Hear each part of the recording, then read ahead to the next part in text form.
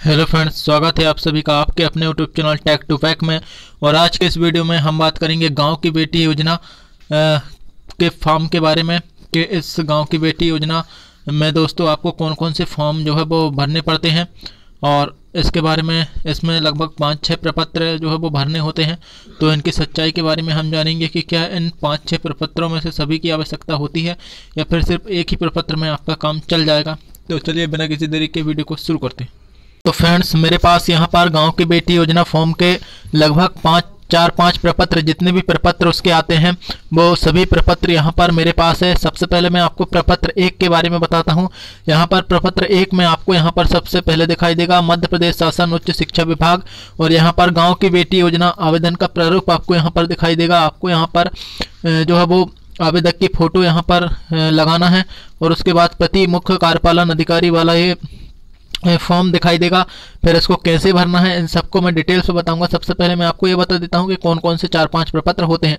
सबसे पहला तो ये हो गया हमारा प्रपत्र एक, उसके बाद यहाँ पर ये हमारा होगा प्रपत्र तीन, और उसके बाद हमारे पास यहाँ पर है ये प्रपत्र चार, और ये हमारे पास है प्रपत्र पाँच। प्रपत्र पाँच, और ये एक सरपंच का जो है वो प्रमाण पत्र की आपको आवश्यकता होगी।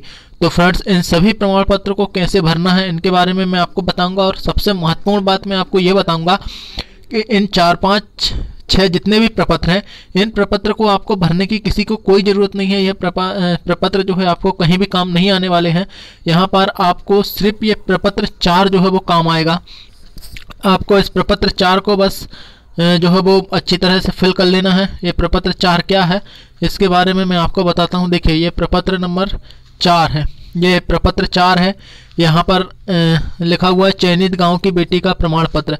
यहाँ पर ये आवेदक की आपको फ़ोटो लगा देना है और यहाँ पर ये यहाँ से फॉर्म चालू होता है कि प्रमाणित किया जाता है कि कुमारी यहाँ पर छात्रा का नाम, यहाँ पर पिता का नाम, यहाँ पर गाँव का नाम, यहाँ पर विकास खंड का नाम, यहाँ तहसील का नाम, यहाँ पर आप जिस भी ज़िला में रहते हैं, आपको ज़िले का नाम लिख करके आपको यहाँ पर लिख देना है ज़िले का नाम। उसके बाद के अंतर्गत बारहवीं परीक्षा वर्ष, जिस वर्ष में उसने बारहवीं की परीक्षा पास की, आपको यहाँ पर वो वर्ष लिख देना है। मैं प्रथम श्रेणी में उत्तीर्ण की है। इन्हें स्कूल की चयन समिति द्वारा गाँव की बेटी के रूप में चयन किया जाता है।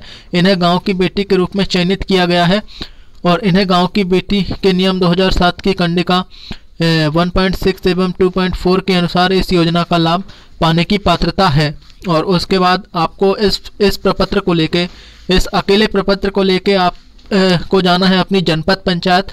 आपका गाँव जिस भी जनपद पंचायत के अंतर्गत आता है आपको इस प्रपत्र को लेके जनपद पंचायत जाना है और आपको इसके साथ ओरिजिनल टेंथ और ट्वेल्थ की मार्कशीट और जाति प्रमाण पत्र और साथ में आय और निवास प्रमाण पत्र लेके आपको जनपद पंचायत सी साहब के पास जाना है और उसके बाद वहाँ पर जो जनपद पंचायत के सीओ साहब होंगे, वो यहाँ पर अपनी सील और उनके सिग्नेचर कर देंगे। आपको स्थान लिख देना है।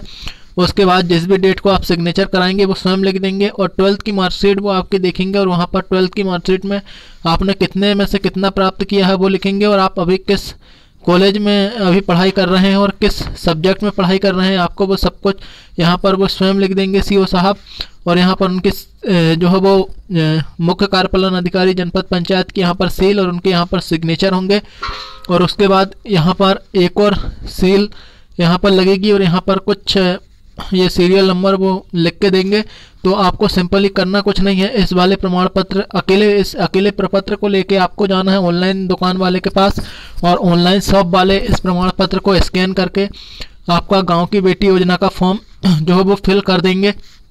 इसके साथ जो भी डॉक्यूमेंट लगेंगे, आपको उनको साथ में ले जा लेना है। और इसके अलावा आपको इसमें पाँच छः जो प्रपत्र आते हैं, उनमें से लगभग कोई प्रपत्र आपको नहीं लगेगा, आपको सिर्फ़ यही वाला प्रपत्र लगेगा और वो इसको स्कैन करेंगे और इसको स्कैन करके अपलोड कर देंगे। आपका काम इस अकेले प्रपत्र से चल जाएगा। तो इस तरह से आप गाँव की बेटी योजना फॉर्म के लिए आपको किसी भी प्रकार से परेशान नहीं होना है। पाँच छः प्रपत्रों को आपको फिल नहीं करना है। आपका काम सिर्फ़ एक ही प्रपत्र में जनपद पंचायत के सीओ साहब का साइन आपको करवा लेना है, इतने ही में। मैं यहाँ पर आपको सारे प्रपत्र दिखा देता हूँ। यहाँ पर सबसे पहला प्रपत्र है कुछ कुछ ऑनलाइन शॉप वाले जब आप गाँव की बेटी योजना का फॉर्म मांगेंगे तो आपको चार पाँच प्रपत्र देंगे। सबसे पहला प्रपत्र वो एक, ये होता है, उसके बाद दूसरा प्रपत्र ये होता है शाला प्रमुख के हस्ताक्षर वाला कि आपने बारहवीं के अक्षर जिस भी स्कूल से पास किए हो, उसके वहाँ के प्रिंसिपल का सील और साइन का एक प्रपत्र होता है। उसके बाद एक प्रपत्र ये जनपद सी वाला, मैंने आपको बता ही चुका हूँ। और उसके बाद एक ये प्रपत्र होता है, आप जिस भी गाँव में रहते हैं, वहाँ पर आपके गाँव के सरपंच का जो है वो साइन करवाना रहता है, ये वाला प्रपत्र रहता है। तो इसकी भी कोई खास आपको ज़रूरत नहीं होगी। और एक यहाँ पर ये रहता है कि आप वर्तमान में जिस भी महाविद्यालय में पढ़ रहे हैं, वहाँ के प्रचार का साइन। तो ये भी नहीं लगेगा आपको, सिर्फ़ आपको जनपद सी वाला साइन वाला प्रपत्र ही लगेगा। तो फ्रेंड्स, आपको आज का वीडियो कैसा लगा? मुझे कमेंट करके बताइएगा। यदि वीडियो पसंद आया हो तो वीडियो को लाइक और चैनल को सब्सक्राइब कर लीजिएगा ताकि ताकि आपको इसी तरह के और भी वीडियो समय समय पर मिलते